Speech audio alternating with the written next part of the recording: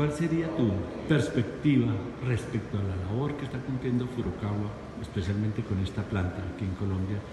¿Y cuáles son las expectativas hacia el futuro del desarrollo? ¿Qué va a ser esto? ¿Un puente temporal o es algo que va a ser significativo a lo largo del tiempo? Ok, eh, gracias por la pregunta, Ciro. En verdad, eh, Furukawa llegó a Colombia para quedarse.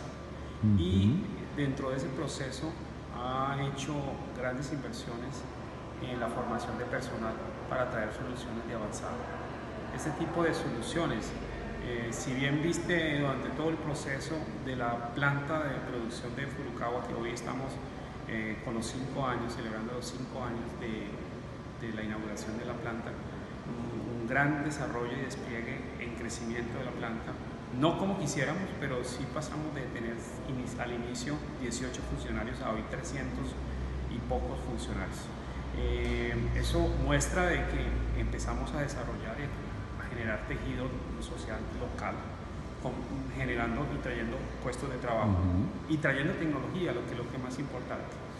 Cuando, cuando se pregunta sobre la perspectiva y sobre los negocios que está viendo Flucao, ok, en este momento eh, es un polo la operación de Colombia de exportación.